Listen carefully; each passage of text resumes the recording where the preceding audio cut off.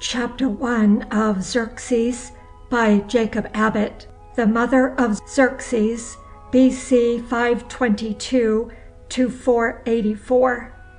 The name of Xerxes is associated in the minds of men with the idea of the highest attainable elevation of human magnificence and grandeur. This monarch was the sovereign of the ancient Persian Empire when it was at the height of its prosperity and power. It is probable, however, that his greatness and fame lose nothing by the manner in which his story comes down to us through the Greek historians.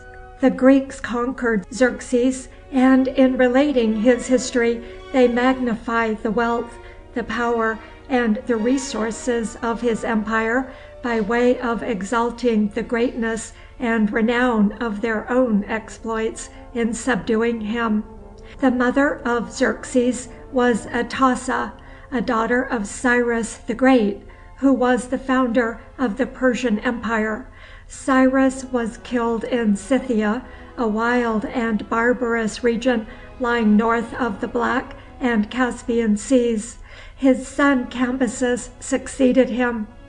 A kingdom or an empire was regarded, in ancient days, much in the light of an estate, which the sovereign held as a species of property, and which he was to manage, mainly with a view to the promotion of his own personal aggrandizement and pleasure. A king or an emperor could have more palaces, more money, and more wives than other men, and if he was of an overbearing or ambitious spirit, he could march into his neighbor's territories, and after gratifying his love of adventure with various romantic exploits, and gaining great renown by his ferocious impetuosity in battle, he could end his expedition, perhaps, by adding his neighbors' palaces and treasures and wives to his own. Divine Providence, however, the mysterious power that overrules all the passions and impulses of men, and brings extended and general good out of local and particular evil, has made the ambition and the selfishness of princes the great means of preserving order and government among men. These great ancient despots, for example, would not have been able to collect their revenues, or enlist their armies, or procure supplies for their campaigns, unless their dominions were under a regular and complete system of social organization, such as should allow all the industrial pursuits of commerce and of agriculture throughout the mass of the community to go regularly on. Thus absolute monarchs, however ambitious and selfish and domineering in their characters, have a strong personal interest in the establishment of order and of justice between man and man throughout all the regions which are under their sway. In fact, the greater their ambition, their selfishness, and their pride, the stronger will this interest be; for just in proportion as order, industry, and internal tranquillity prevail in a country, just in that proportion can revenues be collected from it, and armies raised and maintained.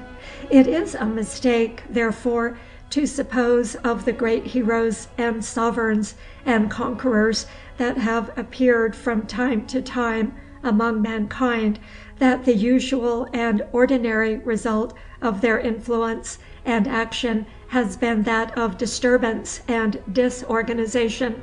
It is true that a vast amount of disturbance and disorganization has often followed from the march of their armies their sieges, their invasions, and the other local and temporary acts of violence which they commit; but these are the exceptions, not the rule.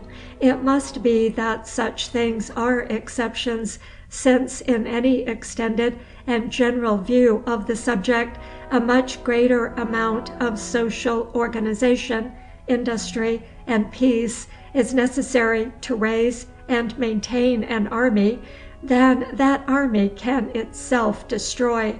The deeds of destruction which great conquerors perform attract more attention and make a greater impression upon mankind than the quiet, patient, and long continued labors by which they perfect and extend the general organization of the social state. But these labors, though less noticed by men, have really employed the energies of great sovereigns in a far greater degree than mankind have generally imagined.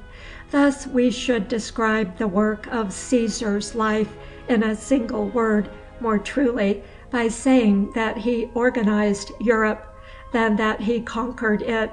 His bridges, his roads, his systems of jurisprudence, his coinage, his calendar, and other similar means and instruments of social arrangement, and facilities for promoting the pursuits of industry and peace, mark far more properly the real work which that great conqueror performed among mankind than his battles and his victories.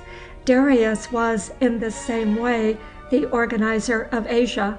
William the Conqueror completed, or rather advanced very far toward completing, the social organization of England, and even in respect to Napoleon the true and proper memorial of his career is the successful working of the institutions, the systems, and the codes which he perfected and introduced into the social state, and not the brazen column formed from captured cannon which stands in the Place Vendôme.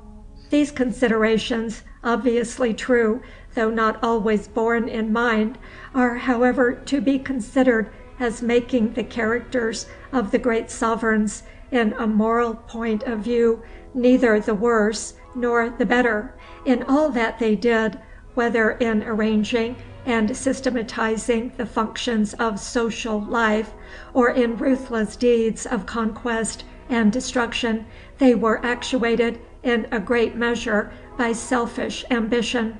They arranged and organized the social state in order to form a more compact and solid pedestal for the foundation of their power. They maintained peace and order among their people, just as a master would suppress quarrels among his slaves, because peace among laborers is essential to productive results. They fixed and defined legal rights, and established courts to determine and enforce them. They protected property. They counted and classified men. They opened roads. They built bridges. They encouraged commerce. They hung robbers and exterminated pirates. All that the collection of their revenues and the enlistment of their armies might go on without hindrance or restriction. Many of them, indeed, may have been animated in some degree by a higher and nobler sentiment than this. Some may have felt a sort of pride in the contemplation of a great and prosperous and wealthy empire, analogous to that which a proprietor feels in surveying a well conditioned, successful, and productive estate. Others, like Alfred, may have felt a sincere and honest interest in the welfare of their fellow men and the promotion of human happiness may have been in a greater or less degree the direct object of their aim. Still it can not be denied that a selfish and reckless ambition has been, in general, the mainspring of action with heroes and conquerors, which, while it aimed only at personal aggrandizement, has been made to operate through the peculiar mechanism of the social state which the divine wisdom has contrived as a means in the main of preserving and extending peace and order among mankind, and not of destroying them. But to return to Atossa. Her father Cyrus, who laid the foundation of the great Persian empire, was, for a hero and conqueror, tolerably considerate and just, and he desired, probably, to promote the welfare and happiness of his millions of subjects.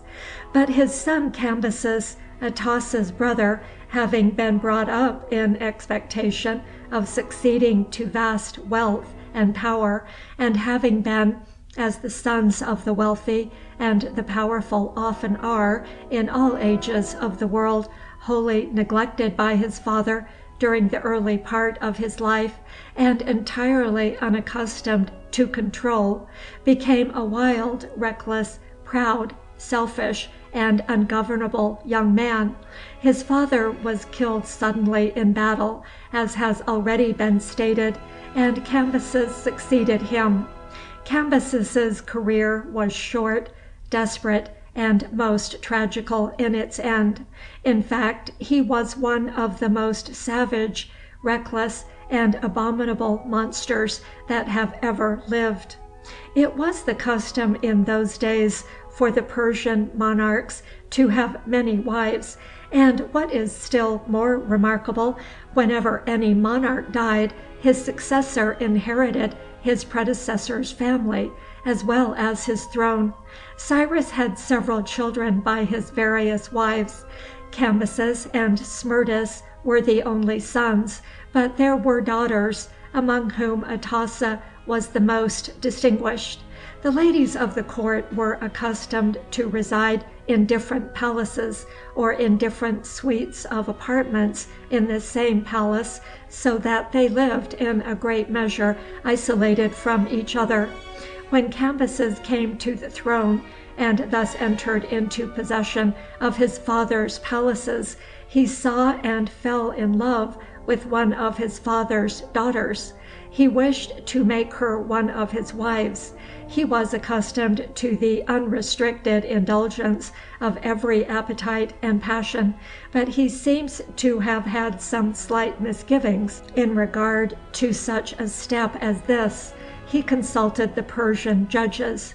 They conferred upon the subject, and then replied that they had searched among the laws of the realm, and though they found no law allowing a man to marry his sister, they found many which authorized a Persian king to do whatever he pleased. Cambyses therefore added the princess to the number of his wives, and not long afterward he married another of his father's daughters in the same way. One of these princesses was Atossa.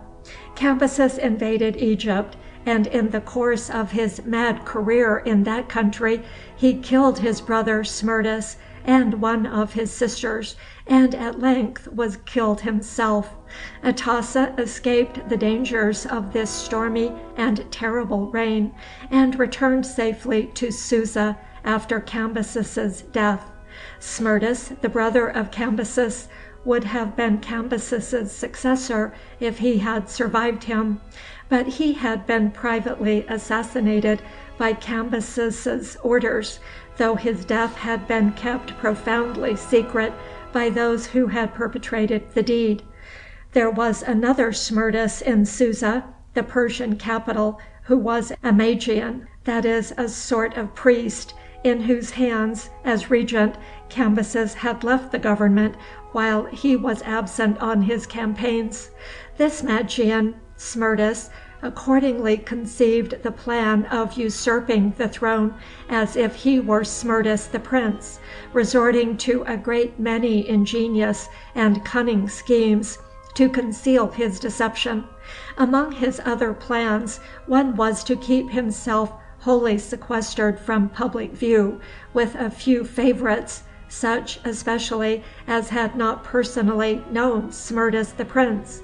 In the same manner he secluded from each other and from himself all who had known Smerdis, in order to prevent their conferring with one another, or communicating to each other any suspicions which they might chance to entertain. Such seclusion, so far as related to the ladies of the royal family, was not unusual after the death of a king, and Smerdis did not deviate from the ordinary custom except to make the isolation and confinement of the princesses and queens more rigorous and strict than common. By means of this policy he was enabled to go on for some months without detection, living all the while in the greatest luxury and splendor, but at the same time in absolute seclusion and in unceasing anxiety and fear. One chief source of his solicitude was lest he should be detected by means of his ears. Some years before, when he was in a comparatively obscure position, he had in some way or other offended his sovereign, and was punished by having his ears cut off. It was necessary, therefore, to keep the marks of this mutilation carefully concealed by means of his hair and his head dress, and even with these precautions he could never feel perfectly secure. At last one of the nobles of the court a sagacious and observing man suspected the imposture. He had no access to Smerdis himself, but his daughter, whose name was Fatima, was one of Smerdis's wives. The nobleman was excluded from all direct intercourse with Smerdis and even with his daughter, but he contrived to send word to his daughter, inquiring whether her husband was the true Smerdis or not. She replied that she did not know, inasmuch as she had never seen any other Smerdis, if indeed there had been another. The nobleman then attempted to communicate with Atossa, but he found it impossible to do so. Atossa had, of course, known her brother well, and was on that very account very closely secluded by the Magian. As a last resort, the nobleman sent to his daughter a request that she should watch for an opportunity to feel for her husband's ears while he was asleep. He admitted that this would be a dangerous attempt, but his daughter, he said, ought to be willing to make it, since if her pretended husband were really an impostor, she ought to take even a stronger interest than others in his detection.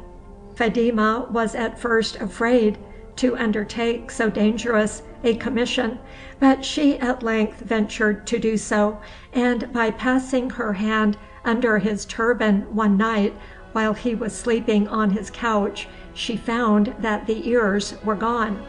The consequence of this discovery was that a conspiracy was formed to dethrone and destroy the usurper. The plot was successful. Smerdis was killed, his imprisoned queens were set free, and Darius was raised to the throne in his stead. Atossa now, by that strange principle of succession which has been already alluded to, became the wife of Darius, and she figures frequently and conspicuously in history during his long and splendid reign.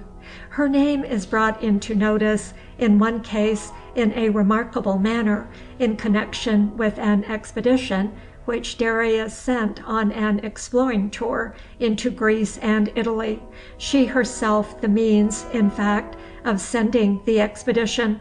She was sick, and after suffering secretly and in silence as long as possible, the nature of her complaint being such as to make her unwilling to speak of it to others, she at length determined to consult a Greek physician who had been brought to Persia as a captive, and had acquired great celebrity at Susa by his medical science and skill.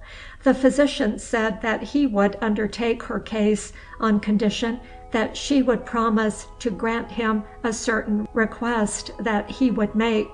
She wished to know what it was beforehand, but the physician would not tell her. He said, however, that it was nothing that it would be in any way derogatory to her honor to grant him. On these conditions Atossa concluded to agree to the physician's proposals. He made her take a solemn oath that, if he cured her of her malady, she would do whatever he required of her, provided that it was consistent with honor and propriety. He then took her case under his charge, prescribed for her and attended her, and in due time she was cured. The physician then told her that what he wished her to do for him was to find some means to persuade Darius to send him home to his native land. Atossa was faithful in fulfilling her promise. She took a private opportunity, when she was alone with Darius, to propose that he should engage in some plans of foreign conquest. She reminded him of the vastness of the military power which was at his disposal, and of the facility with which, by means of it, he might extend his dominions. She extolled, too, his genius and energy, and endeavored to inspire in his mind some ambitious desires to distinguish himself in the estimation of mankind, by bringing his capacities for the performance of great deeds into action. Darius listened to these suggestions of Atossa with interest and with evident pleasure.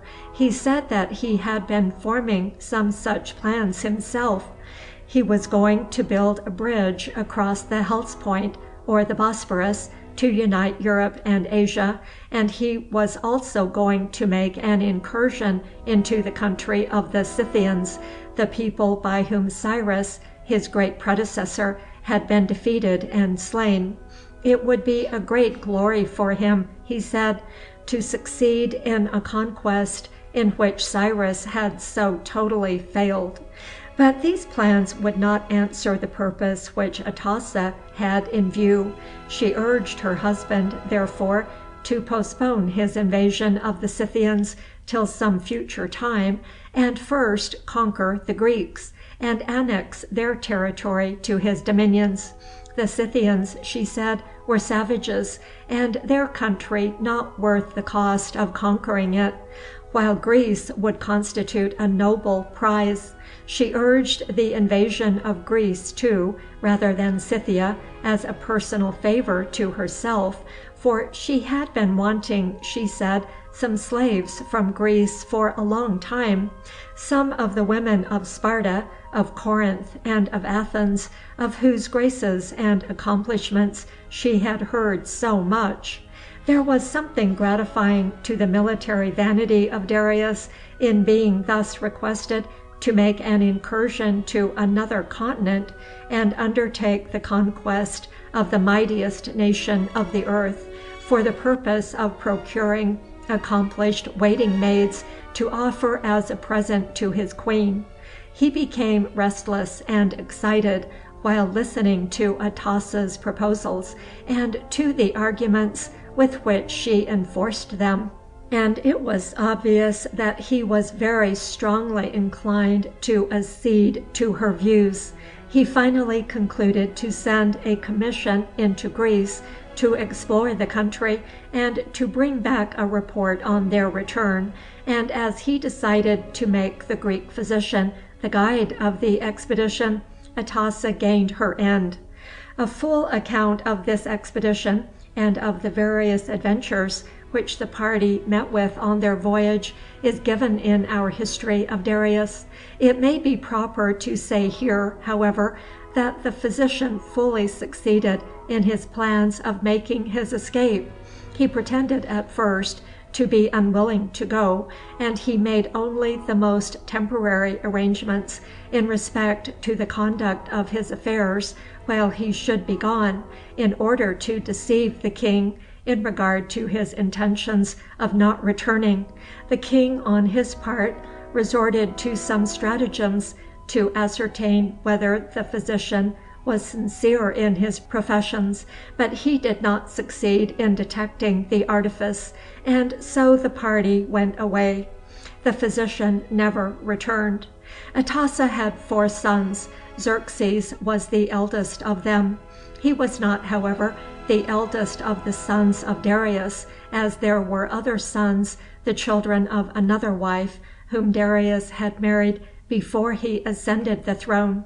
The oldest of these children was named Artabazanes. Artabazanes seems to have been a prince of an amiable and virtuous character, and not particularly ambitious and aspiring in his disposition, although as he was the eldest son of his father he claimed to be his heir. Atossa did not admit the validity of this claim, but maintained that the eldest of her children was entitled to the inheritance. It became necessary to decide this question before Darius's death, for Darius, in the prosecution of a war in which he was engaged, formed the design of accompanying his army on an expedition into Greece, and before doing this he was bound, according to the laws and usages of the Persian realm, to regulate the succession. There immediately arose an earnest dispute between the friends and partisans of Artabazanes and Xerxes, each side urging very eagerly the claims of its own candidate.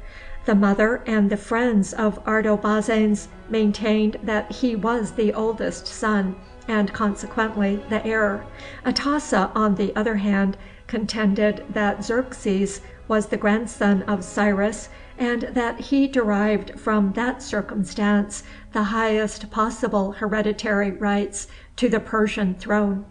This was in some respects true, for Cyrus had been the founder of the empire and the legitimate monarch, while Darius had no hereditary claims. He was originally a noble of high rank indeed, but not of the royal line, and he had been designated as Cyrus's successor in a time of revolution, because there was at that time no prince of the royal family who could take the inheritance. Those, therefore, who were disposed to insist on the claims of a legitimate hereditary succession might very plausibly claim that Darius's government had been a regency rather than a reign; that Xerxes, being the oldest son of Atossa, Cyrus's daughter, was the true representative of the royal line; and that although it might not be expedient to disturb the possession of Darius during his lifetime, yet that at his death Xerxes was unquestionably entitled to the throne. There was obviously a great deal of truth and justice in this reasoning, and yet it was a view of the subject not likely to be very agreeable to Darius, since it seemed to deny the existence of any real and valid title to the sovereignty in him. It assigned the crown at his death not to his son as such, but to his predecessor's grandson, for though Xerxes was both the son of Darius and the grandson of Cyrus, it was in the latter capacity that he was regarded as entitled to the throne in the argument referred to above. The doctrine was very gratifying to the pride of Atossa, for it made Xerxes the successor to the crown as her son and heir, and not as the son and heir of her husband. For this very reason it was likely to be not very gratifying to Darius. He hesitated very much in respect to adopting it. Atossa's ascendancy over his mind, and her influence generally in the Persian court, was almost overwhelming, and yet Darius was very unwilling to seem, by giving to the oldest grandson of Cyrus the precedence over his own eldest son, to admit that he himself had no legitimate and proper title to the throne. While things were in this state, a Greek named Demaratus arrived at Susa. He was a dethroned prince from Sparta, and had fled from the political storms of his own country to seek refuge in Darius's capital. Demaratus found a way to reconcile Darius's pride as a sovereign with his personal preferences as a husband and a father. He told the king that, according to the principles of hereditary succession which were adopted in Greece, Xerxes was his heir as well as Cyrus's, for he was the oldest son who was born after his accession. A son, he said, according to the Greek ideas on the subject, was entitled to inherit only such rank as his father held when the son was born, and that consequently none of his children who had been born before his accession could have any claims to the Persian throne. Artabazanes, in a word, was to be regarded, he said, only as the son of Darius the noble, while Xerxes was the son of Darius the king. In the end Darius adopted this view, and designated Xerxes as his successor in case he should not return from his distant expedition. He did not return. He did not even live to set out upon it. Perhaps the question of the succession had not been absolutely and finally settled, for it arose again and was discussed anew when the death of Darius occurred. The manner in which it was finally disposed of will be described in the next chapter. End of chapter 1.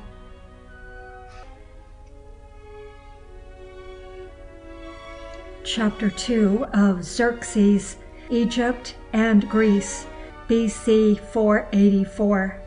The arrangements which Darius had made to fix and determine the succession before his death did not entirely prevent the question from arising again when his death occurred. Xerxes was on the spot at the time and at once assumed the royal functions. His brother was absent, Xerxes sent a message to Artabazanes, informing him of their father's death and of his intention of assuming the crown.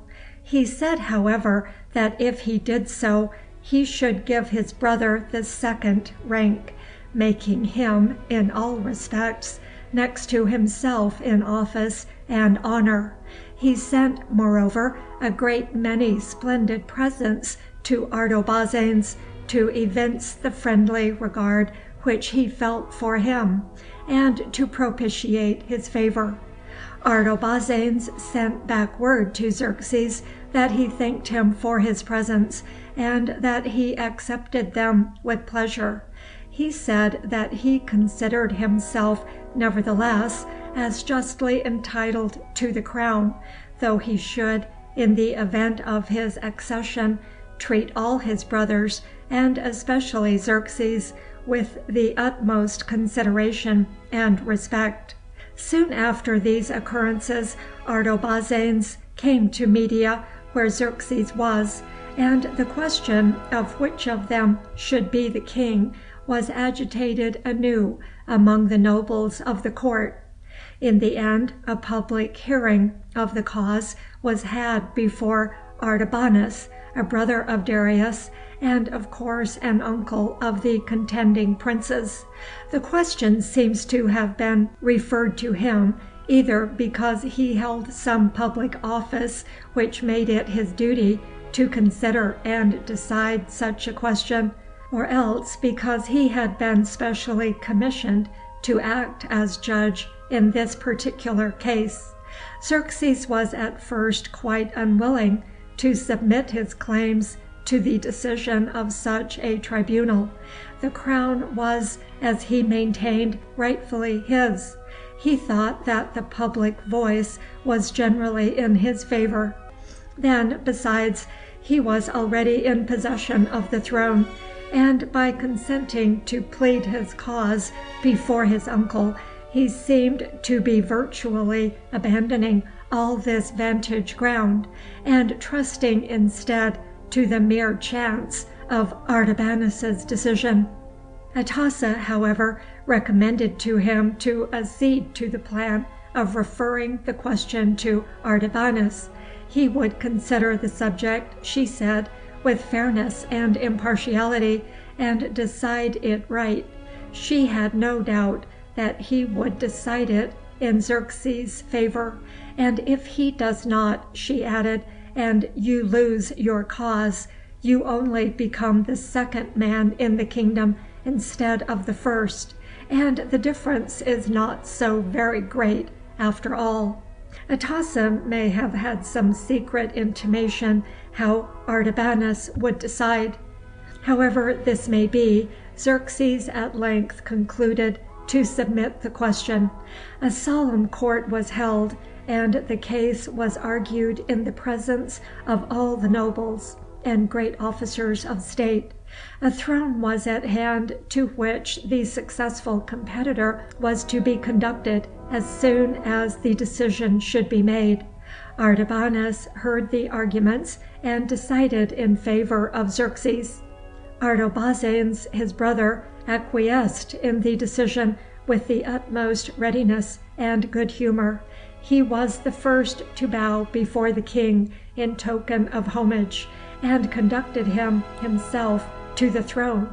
Xerxes kept his promise faithfully of making his brother the second in his kingdom. He appointed him to a very high command in the army, and Artabazanes, on his part, served the king with great zeal and fidelity, until he was at last killed in battle, in the manner hereafter to be described.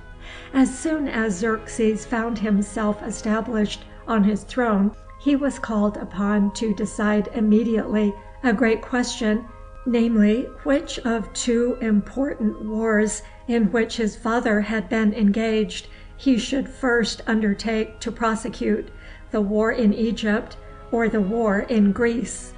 By referring to the map the reader will see that, as the Persian Empire extended westward to Asia Minor and to the coasts of the Mediterranean Sea, the great countries which bordered upon it in this direction were, on the north Greece, and on the south Egypt, the one in Europe and the other in Africa.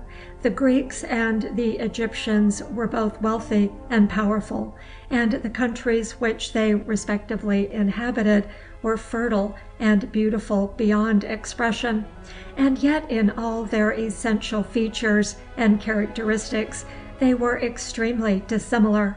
Egypt was a long and narrow inland valley.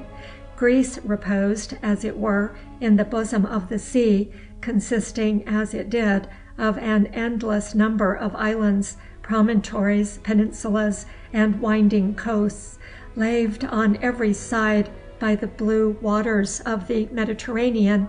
Egypt was a plain, diversified only by the varieties of vegetation and by the towns and villages, and the enormous monumental structures which had been erected by man. Greece was a picturesque and ever changing scene of mountains and valleys, of precipitous cliffs, winding beaches, rocky capes, and lofty headlands. The character and genius of the inhabitants of these two countries took their cast, in each case, from the physical conformities of the soil. The Egyptians were a quiet, gentle, and harmless race of tillers of the ground. They spent their lives in pumping water from the river, in the patient, persevering toil of sowing smooth and mellow fields, or in reaping the waving grain. The Greeks drove flocks and herds up and down the declivities of the mountains, or hunted wild beasts in forests and fastnesses. They constructed galleys for navigating the seas. They worked the mines and manufactured metals. They built bridges, citadels, temples, and towns, and sculptured statuary from marble blocks which they chiseled from the strata of the mountains. It is surprising what a difference is made in the genius and character of man by elevations, here and there, of a few thousand feet in the country where his genius and character are formed. The architectural wonders of Egypt and of Greece were as diverse from each other as the natural features of the soil and in each case the structures were in keeping and in harmony with the character of the landscape which they respectively adorned. The harmony was, however, that of contrast, and not of correspondence. In Greece, where the landscape itself was grand and sublime, the architect aimed only at beauty. To have aimed at magnitude and grandeur in human structures, among the mountains, the cliffs, the cataracts, and the resounding ocean shores of Greece, would have been absurd. The Grecian artists were deterred by their unerring instincts from the attempt. They accordingly built beautiful temples, whose white and symmetrical colonnades adorned the declivities, or crowned the summits of the hills. They sculptured statues, to be placed on pedestals in groves and gardens.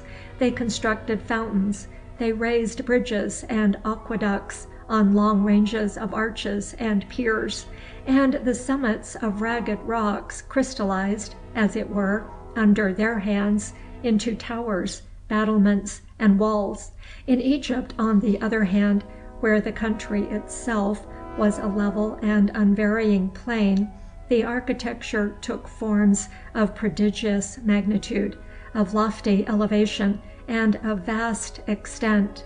There were ranges of enormous columns, colossal statues, towering obelisks, and pyramids rising like mountains from the verdure of the plain. Thus, while nature gave to the country its elements of beauty, man completed the landscape by adding to it the grand and the sublime. The shape and proportions of Egypt would be represented by a green ribbon an inch wide and a yard long, lying upon the ground in a serpentine form; and to complete the model we might imagine a silver filament passing along the centre of the green to denote the Nile. The real valley of verdure, however, is not of uniform breadth, like the ribbon so representing it, but widens as it approaches the sea, as if there had been originally a gulf or estuary there, which the sediment from the river had filled. In fact, the rich and fertile plain which the alluvial deposits of the Nile have formed, has been protruded for some distance into the sea, and the stream divides itself into three great branches about a hundred miles from its mouth, two outermost of which, with the sea coast in front, enclose a vast triangle which was called the Delta, from the Greek letter delta, which is of a triangular form.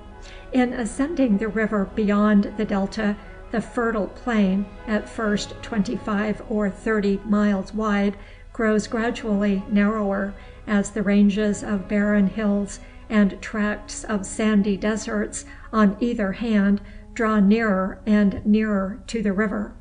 Thus the country consists of two long lines of rich and fertile intervals one on each side of the stream. In the time of Xerxes the whole extent was densely populated, every little elevation of the land being covered with a village or a town. The inhabitants tilled the land, raising upon it vast stores of corn, much of which was floated down the river to its mouth, and taken thence to various countries of Europe and Asia in merchant ships over the Mediterranean Sea. Caravans, too, sometimes came across the neighboring deserts to obtain supplies of Egyptian corn. This was done by the sons of Jacob when the crops failed them in the land of Canaan, as related in the sacred scriptures. There were two great natural wonders in Egypt in ancient times as now. First, it never rained there, or at least so seldom that the rain was regarded as a marvelous phenomenon, interrupting the ordinary course of nature, like an earthquake in England or America. The falling of drops of water out of clouds in the sky was an occurrence so strange, so unaccountable, that the whole population regarded it with astonishment and awe. With the exception of these rare and wonder exciting instances, there was no rain, no snow, no hail, no clouds in the sky. The sun was always shining, and the heavens were always serene. These meteorological characteristics of the country, resulting as they do from permanent natural causes, continue of course unchanged to the present day, and the Arabs who live now along the banks of the river keep their crops, when harvested, in heaps in the open air, and require no roofs to their huts except a light covering of sheaves to protect the inmates from the sun. The other natural wonder of Egypt was the annual rising of the Nile. About midsummer the peasantry who lived along the banks would find the river gradually beginning to rise. The stream became more turbid, too, as the bosom of the waters swelled. No cause for this mysterious increase appeared, as the sky remained as blue and serene as before, and the sun, then nearly vertical, continued to shine with even more than its wonted splendor. The inhabitants, however, felt no surprise, and asked for no explanation of the phenomenon. It was the common course of nature at that season. They had all witnessed it year after year from childhood.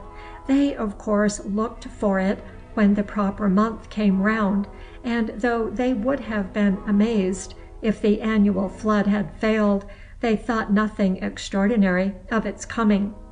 When the swelling of the waters and the gradual filling of the channels and low grounds in the neighborhood of the river warned the people that the flood was at hand, they all engaged busily in the work of completing their preparations.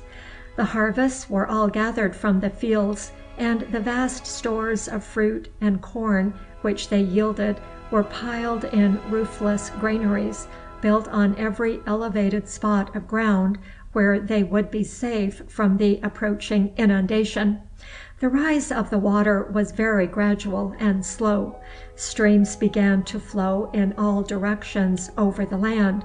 Ponds and lakes, growing every day more and more extended, spread mysteriously over the surface of the meadows, and all the time while this deluge of water was rising to submerge the land the air continued dry, the sun was sultry, and the sky was without a cloud. As the flood continued to rise, the proportion of land and water, and the conformation of the irregular and temporary shores which separated them, were changed continually from day to day. The inhabitants assembled in their villages, which were built on rising grounds, some natural, others artificially formed. The waters rose more and more until only these crowded islands appeared above its surface, when at length the valley presented to the view the spectacle of a vast expanse of water, calm as a summer's sea, brilliant with the reflected rays of a tropical sun, and canopied by a sky which displayed its spotless blue by day and its countless stars at night, was always cloudless and serene. The inundation was at its height in October. After that period the waters gradually subsided, leaving a slimy and very fertilizing deposit all over the lands which they had covered. Though the inhabitants themselves, who had been accustomed to this overflow from infancy, felt no wonder or curiosity about its cause, the philosophers of the day and travelers from other countries who visited Egypt made many attempts to seek an explanation of the phenomenon. They had three theories on the subject, which Herodotus mentions and discusses. The first explanation was that the rising of the river was occasioned by the prevalence of northerly winds on the Mediterranean at that time of the year which drove back the waters at the mouth of the river, and so caused the accumulation of the water in the upper parts of the valley. Herodotus thought that this was not a satisfactory explanation, for sometimes, as he said, these northerly winds did not blow, and yet the rising of the river took place none the less when the appointed season came. Besides, there were other rivers similarly situated in respect to the influence of prevailing winds at sea in driving in the waters at their mouths, which were, nevertheless, not subject to inundations like the Nile. The second theory was that the Nile took its rise, not, like other rivers, in inland lakes or among inland mountains, but in some remote and unknown ocean on the other side of the continent, which ocean the advocates of this theory supposed might be subject to some great annual ebb and flow, and from this it might result that at stated periods an unusual tide of waters might be poured into the channel of the river. This, however, could not be true, for the waters of the inundation were fresh, not salt, which proved that they were not furnished by any ocean. The third hypothesis was that the rising of the water was occasioned by the melting of the snows in summer on the mountains from which the sources of the river came. Against this supposition Herodotus found more numerous and more satisfactory reasons even than he had advanced against the others. In the first place, the river came from the south, a direction in which the heat increased in intensity with every league, as far as travelers had explored it, and beyond those limits they supposed that the burning sun made the country uninhabitable. It was preposterous to suppose that there could be snow and ice there.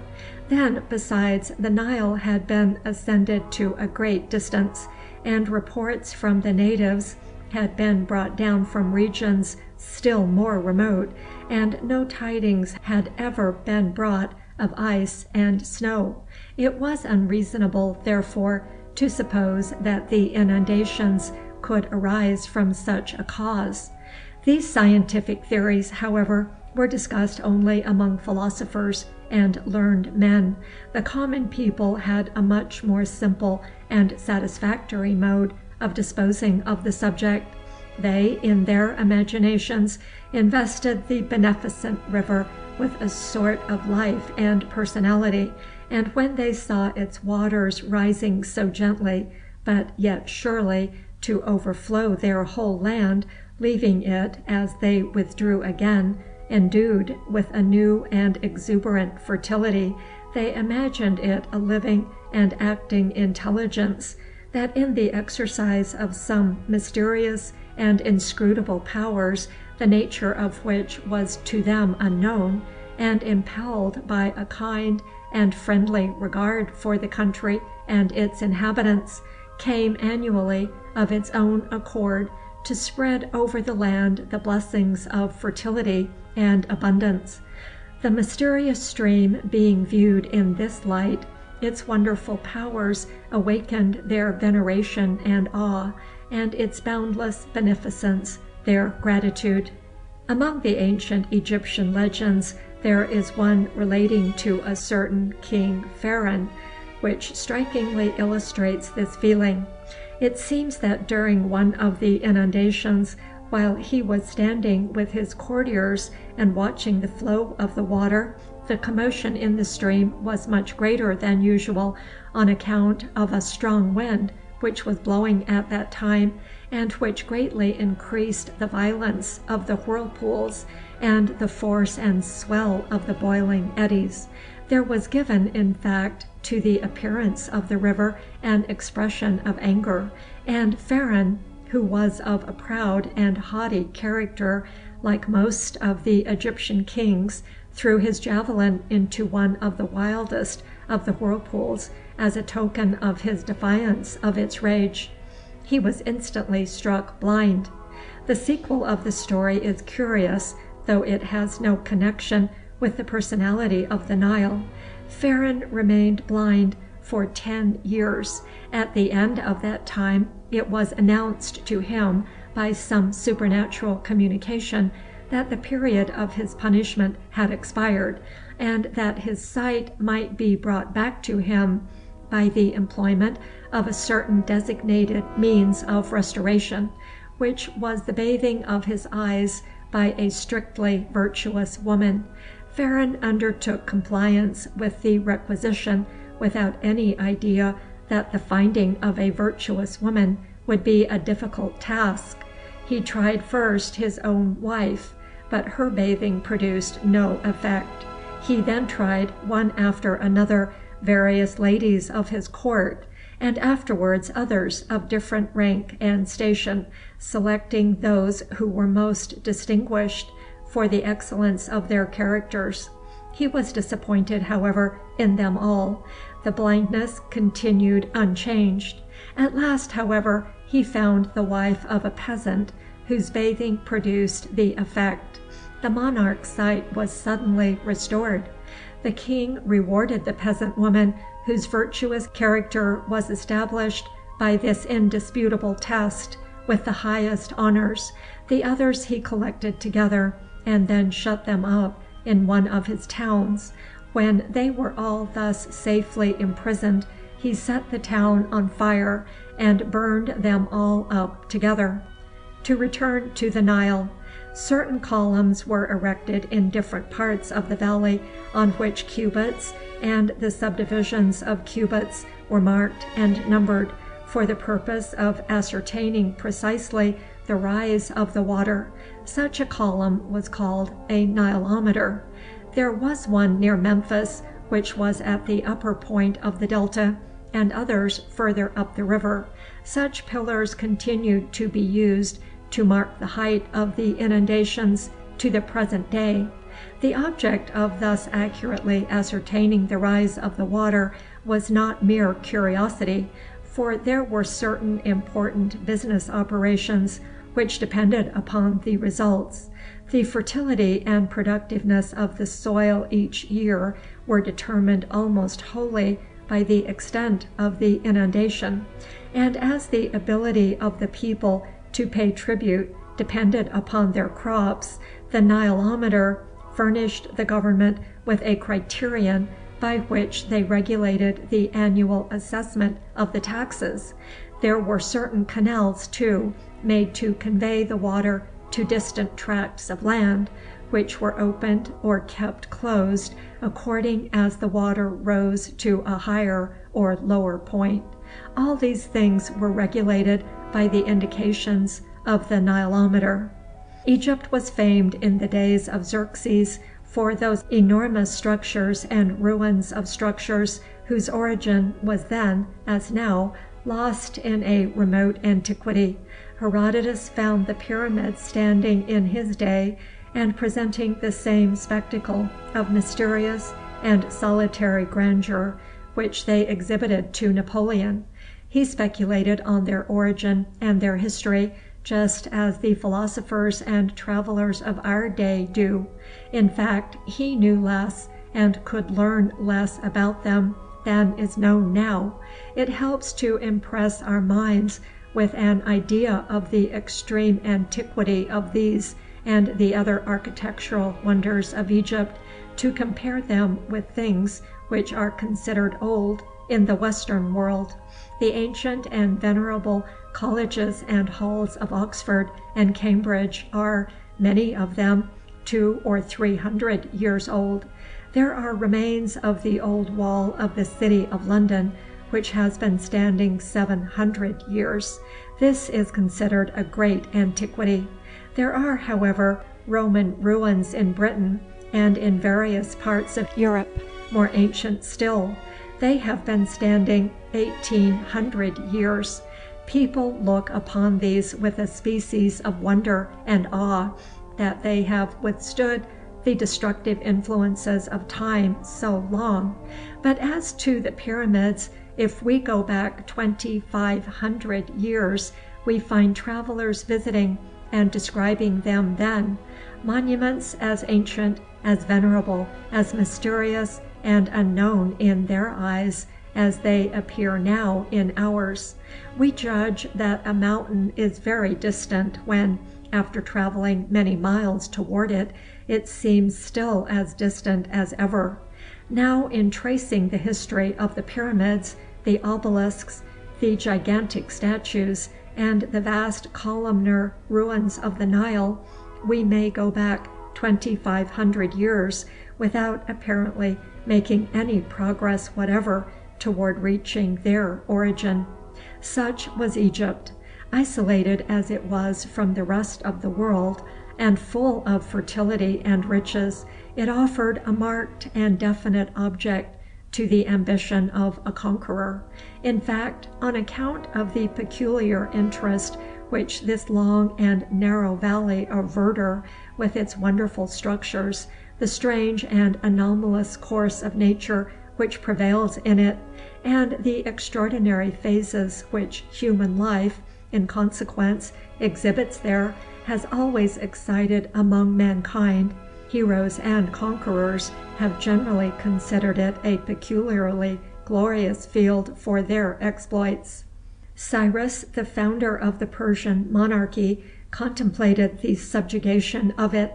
He did not carry his designs into effect, but left them for Cambyses, his son.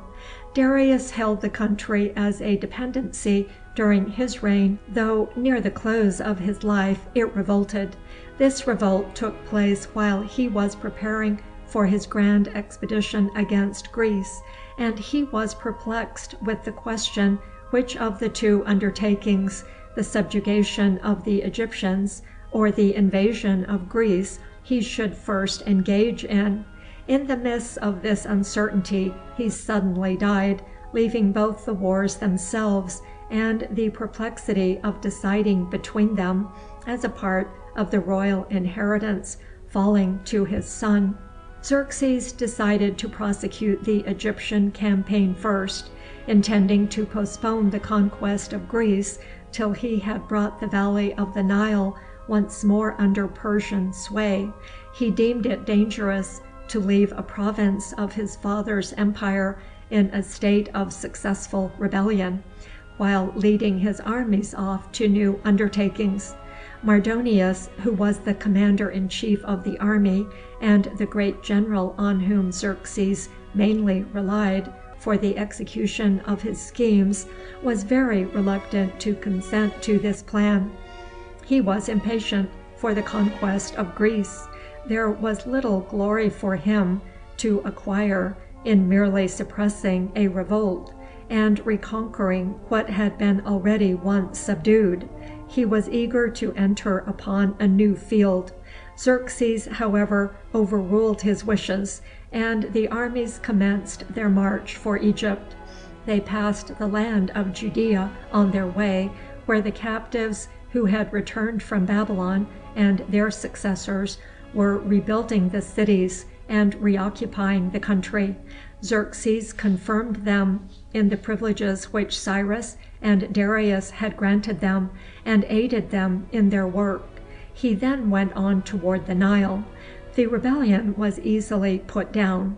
In less than a year from the time of leaving Susa he had reconquered the whole land of Egypt, punished the leaders of the revolt, established his brother as viceroy of the country, and returned in safety to Susa. All this took place in the second year of his reign. End of chapter 2.